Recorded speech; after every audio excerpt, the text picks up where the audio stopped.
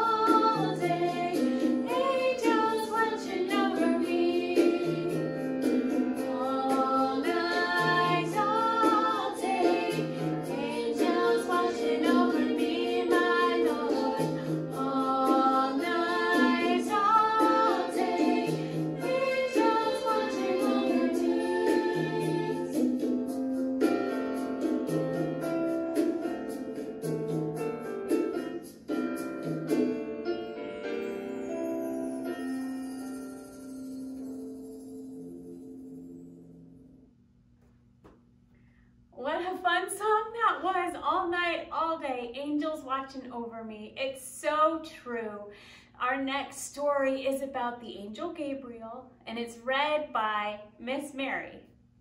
Hello, I'm Miss Mary, and I'm going to read you a story from the Spark Story Bible.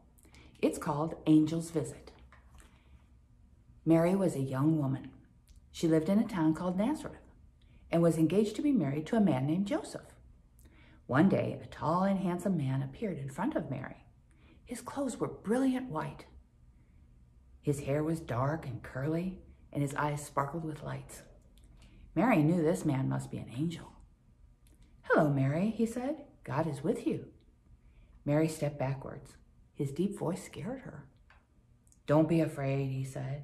God sent me to tell you that you're going to have a son who you'll name Jesus. He is going to be a very important person to many people. A son?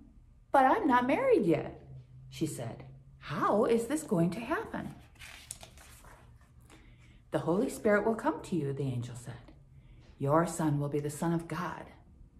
The Son of God? My son? Mary thought about all these things.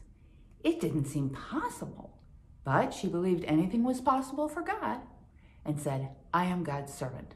I'll do whatever God says. But her mind was racing.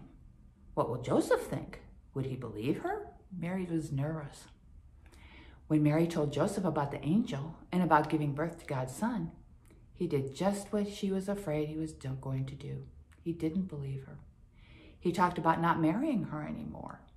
Mary felt so sad. But she remembered what the angel said and she trusted God. The next day, something wonderful happened. Joseph came to her and said, An angel came to me in a dream. He said, Joseph, don't be afraid to make Mary your wife. She is going to have a son, and you're going to name him Jesus. He's going to save people from their sins. Mary smiled a big smile. She was so happy that tears of joy filled her eyes and trickled down her cheeks. She felt Joseph's love again. I'm not scared for you to be my wife, Mary, he said. I'll be with you, and we will name the boy Jesus. That's the end of that story. Well, how do you think you'd feel if an angel came and appeared to you and told you something? I think I'd be scared, first off, and then I'd stop and listen. And the angel's message is always one of love and peace and listening and doing God's will. So, uh, but that, that was a big job that the angel gave to Mary for her to have a baby and for her to raise it and for that baby to be God's son. My word, that she must have been awfully scared, but she had so much trust in God that she did it anyway. She trusted God her whole life. What a great story that was. Can you even imagine talking to an angel? Wow. And Mary and Joseph were told they're going to have baby Jesus. What a story. So that is so joyful, such good news. Our next song is Joy to the World. Get your dancing feet ready. And heaven and heaven and nature sing. J to the O to the Y. I got the J to the O to the Y. J to the O to the Y.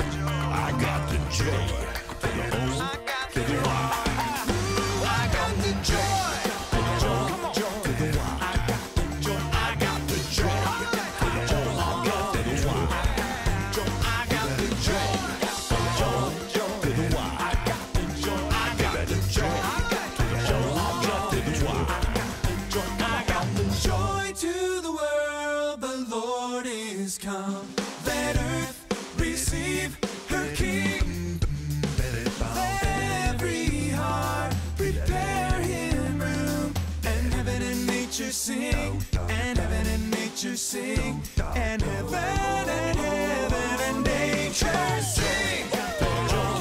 the wine, I got the joy, I got the joy, I got the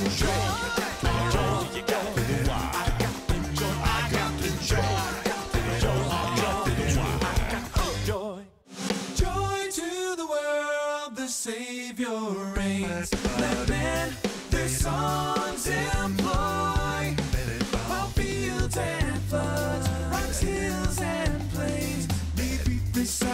Sounding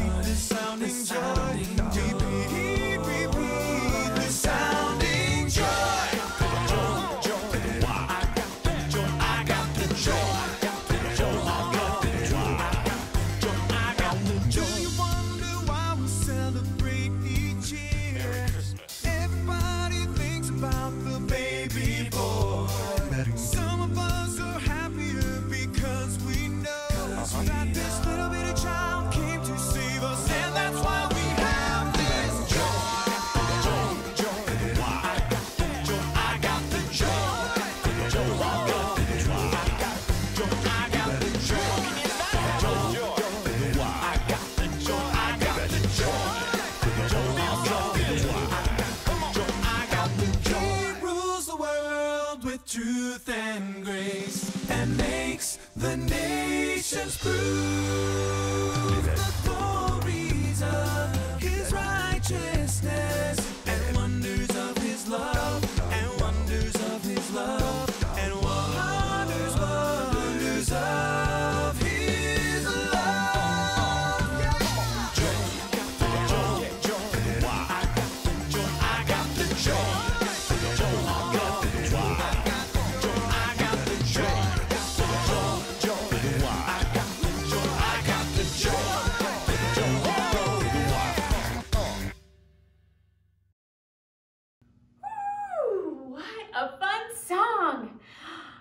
Take a deep breath. We are going to prepare for our prayer.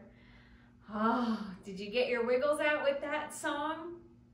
So, come to me for a minute and you can fold your hands and do what I do. We're going to breathe in for a count of five and hold it for a count of five and then push it out for a count of five and wait five more seconds until we take our next breath. And we're going to do that two times. So we're going to breathe in, hold it, two, three, Push it out. Hold it. Breathe in. Hold it. Breathe out. Good. Now fold your hands and close your eyes. I'm going to pray with us and then we're going to pray the Lord's Prayer when you can open your eyes. Close your eyes. Dear God, all the animals are sleeping. The tree branches are bare. It's the quietest moment of the year. Please, God, teach all of your children to live in peace and harmony at home and everywhere in the world. Amen. You can open your eyes and we're going to say the Lord's Prayer together. Our Father, who art in heaven, hallowed be thy name. Thy kingdom come, thy will be done, on earth as it is in heaven. And give us this day our daily bread, and forgive us our debts as we forgive our debtors. And lead us not into temptation, but deliver us from evil. For thine is the kingdom, and the power, and the glory forever. Amen. Good job. Our very last song is This Little Light of Mine, and we're going to sing that old familiar tune. Here it goes.